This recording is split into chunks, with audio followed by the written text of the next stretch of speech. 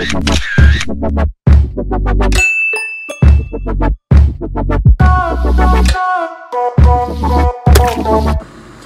everyone! Good morning! My name is Jeff and welcome back to my YouTube channel. So guys, uh, for today's vlog is we're going to review this new serum that I bought from Shopee. And it's kind of like um, almost a month now since I haven't uploaded a new vlog in my channel. And I'm so excited to reveal this to you guys, the new product that I'm to be trying.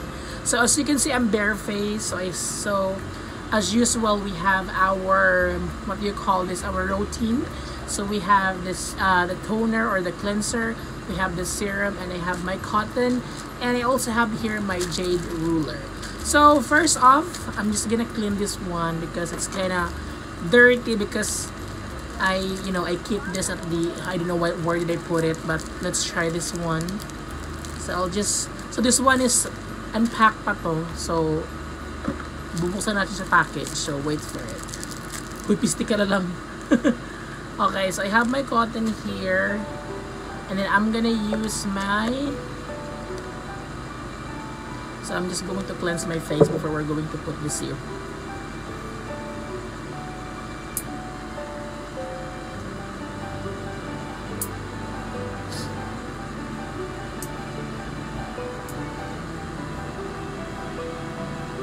So as you can see guys, I'm also wearing um, a clothing line from my friend and this is from Se Nombre Ko.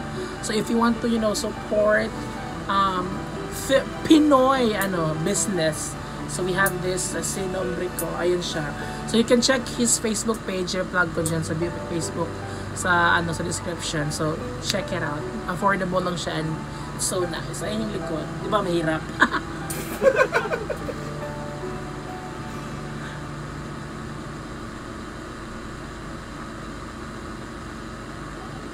Alright.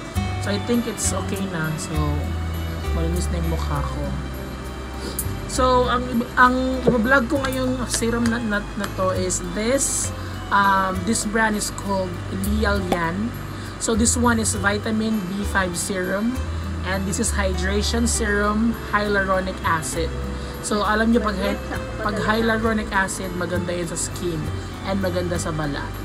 So this is a aqua vitamin B5 aloe bar uh, barbados leaf juice and this serum contains vitamin B5, a potent moisturizer, anti-inflammatory and excellent wound healing ingredients.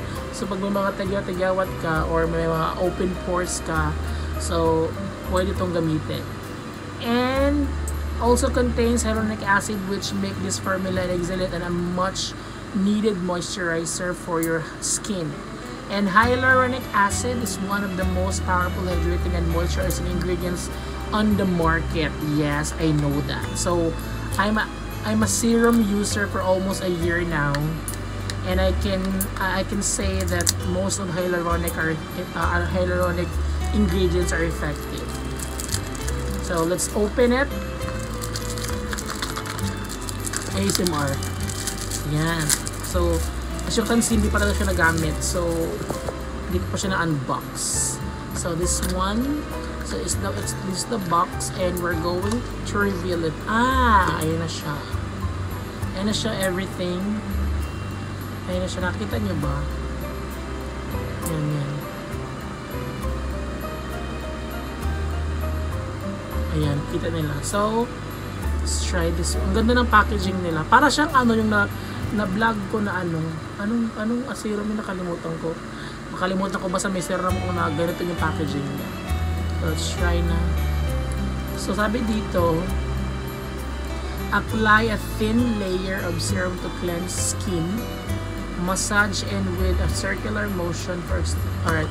So, ito yung perfect tong ano gamitin kong ginamit kong jade ruler. Mo kang magulo. Matutumba to, buisit ka.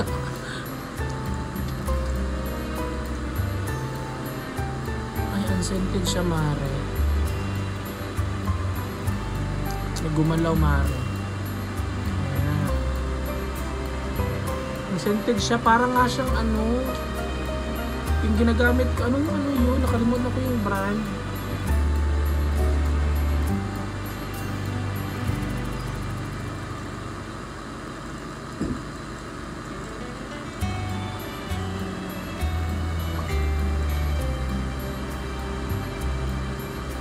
I want more. More.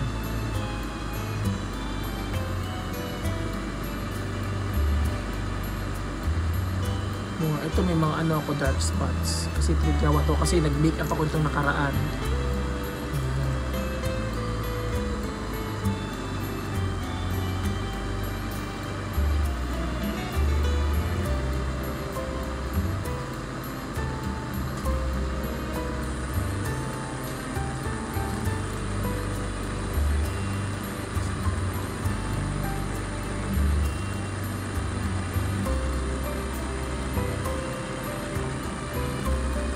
So ano siya, mabilis siya mag-moisturize. So may moisturizer nga to.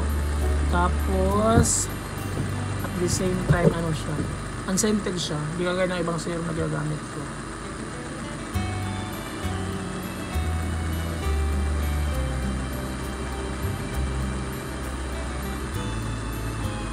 Yan.